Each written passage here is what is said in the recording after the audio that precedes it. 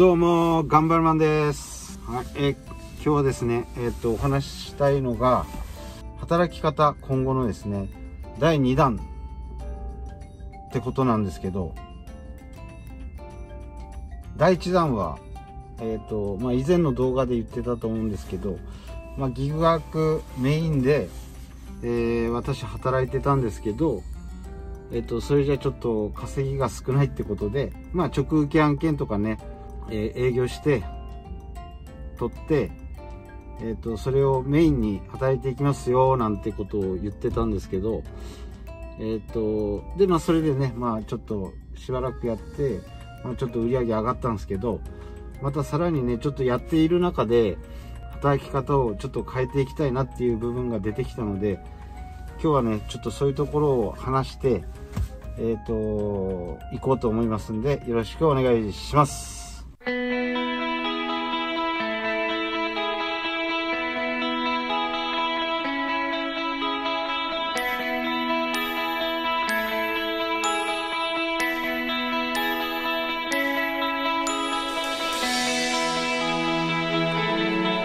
まずあの働き方を変えるっていうのはまあどういうことかっていうとですね、まあ、僕がやっている、えーと、宅配の、えー、業務委託、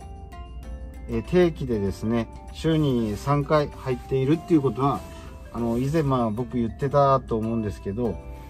えっ、ー、とこれがね実はちょっともうやめようかなと思ってるんですよ。でこれまあなんでやめるのかっていうところなんですけど何ていうんですかね。これまあ要は固定じゃないですか。週3回。正直あのまあ結構金額が単価がいいかなって言ったらまあそうでもないんですよ。でまあもともとね僕これ最初始める時はあのなんか安定した固定した売り上げが欲しいなと思って契約したものでもあったんですよ。あとまあ宅配が初心者ってことでなんかいろいろとね、こう、横のつながりができ、持てたり、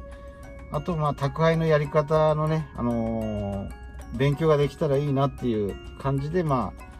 始めたものだったんですよね。だからまあ、最近ですね、その、なんていうんですかね、あのー、まあ、直受けのね、まあ、軽貨物ではない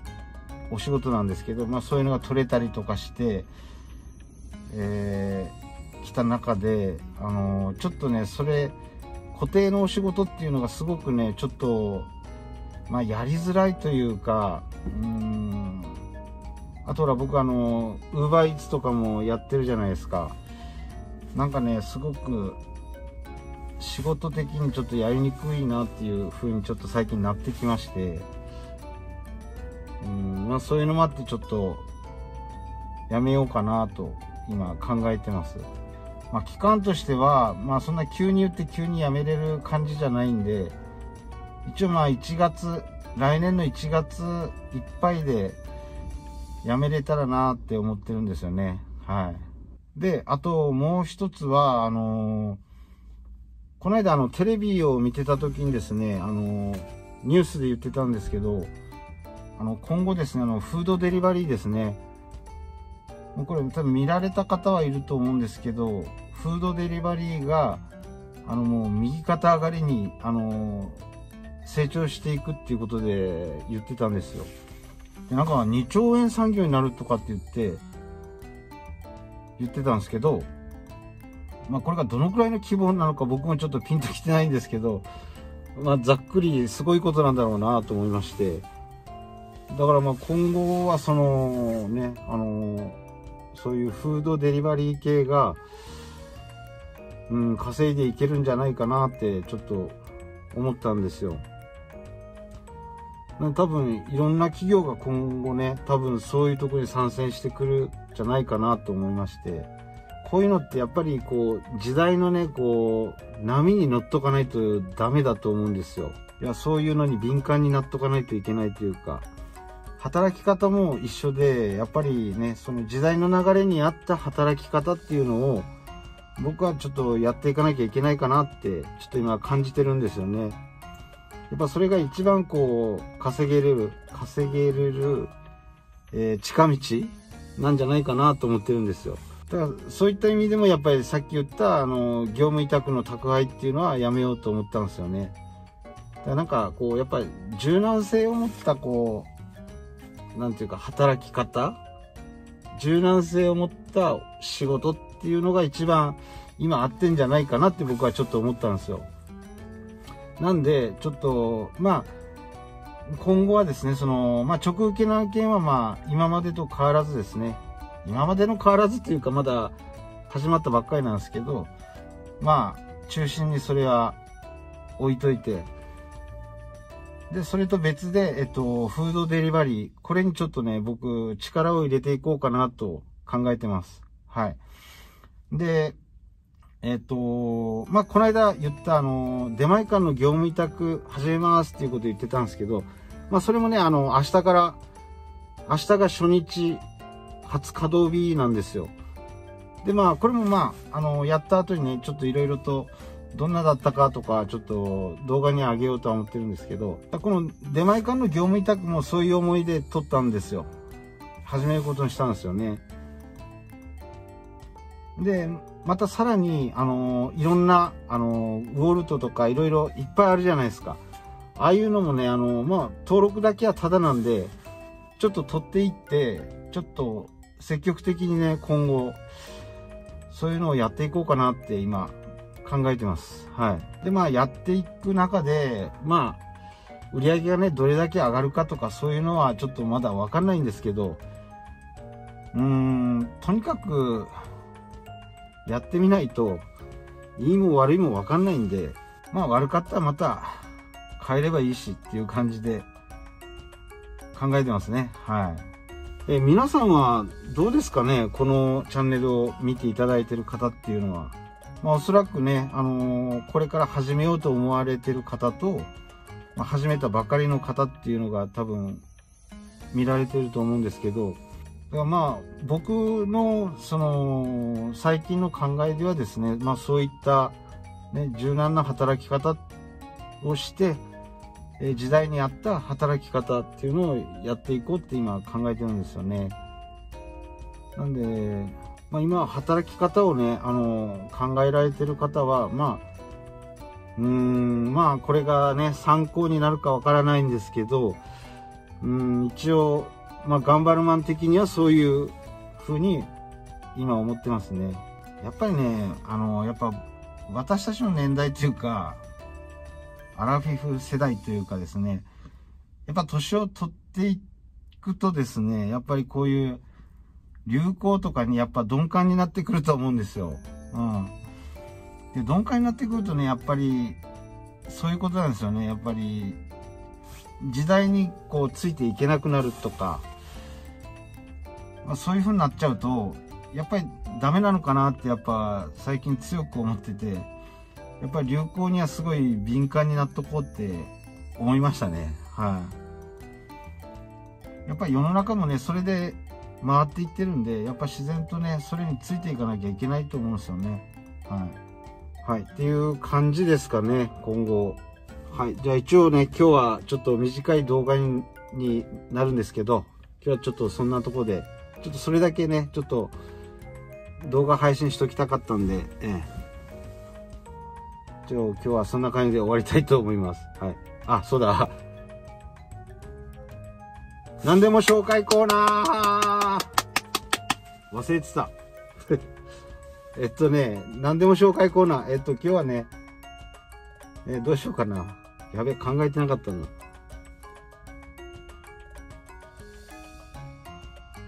えっと、最近僕結構 UberEats、あのー、やってるんですけど、まあそれでね、ちょっと、なんていうかな、そのお話なんですけど、あのー、僕 UberEats は、あの、大体決まったエリアで僕ずっとやってるんですよ。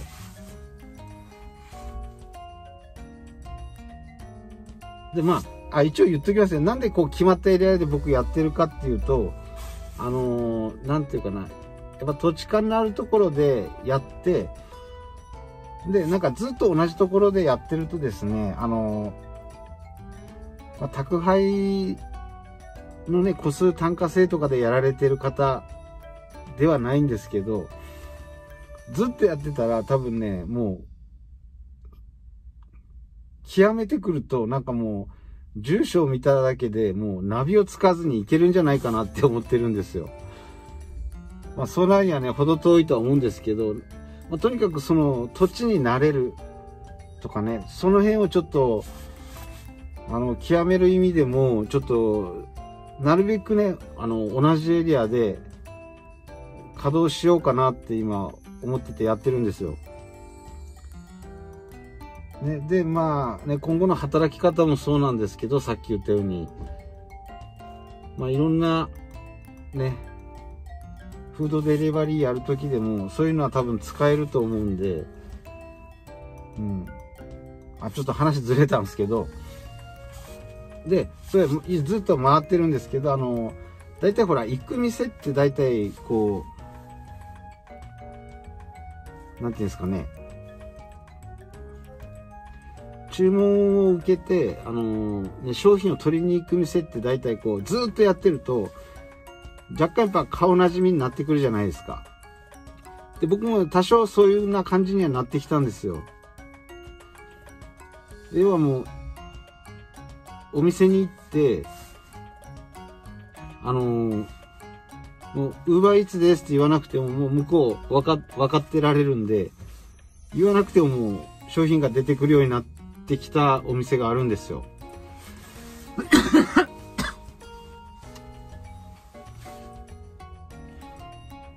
で、そのお店の話なんですけど、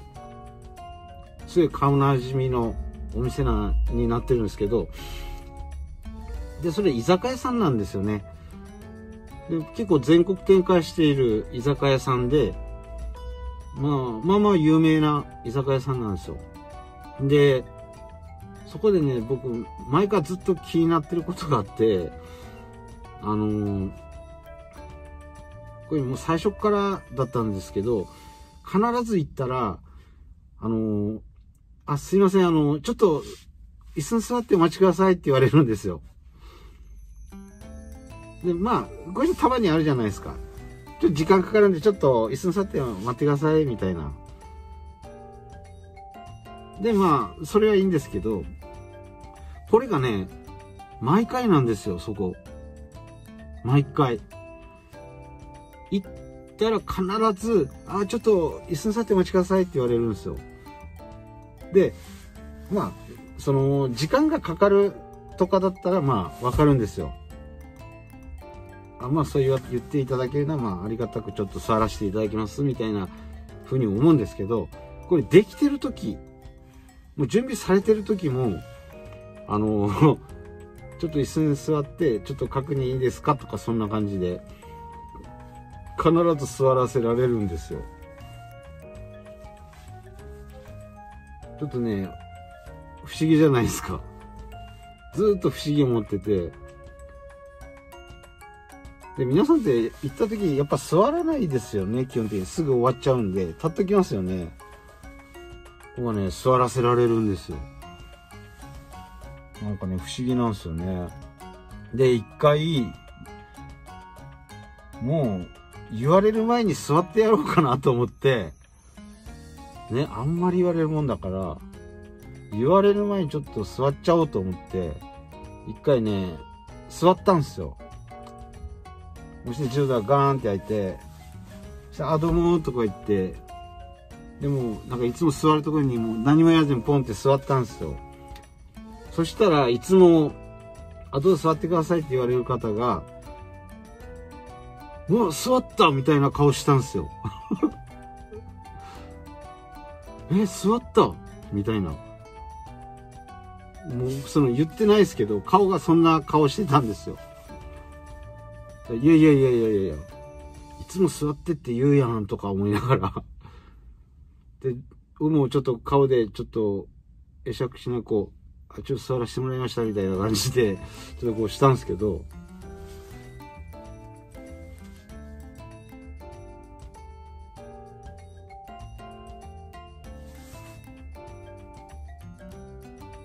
だから、なんか、お店でね、なんかそういう、